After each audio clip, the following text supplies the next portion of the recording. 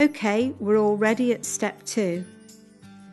Here you'll see that there are more options, and this is where you can really see the sorts of help that is out there.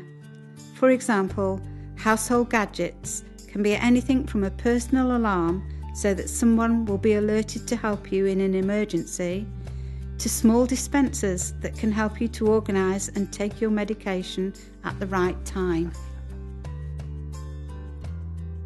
But there's also people that can help you around the house and in the garden and make sure you're warm enough in the winter without it costing a lot of money, and people to help with everyday life.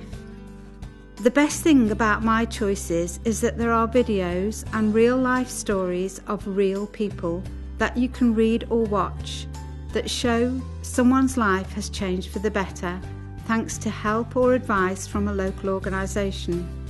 You can see here that Jane, who has just lost her husband, and was struggling with the garden, used Staffordshire Care's website to find a local organisation which helped her to keep on top of things.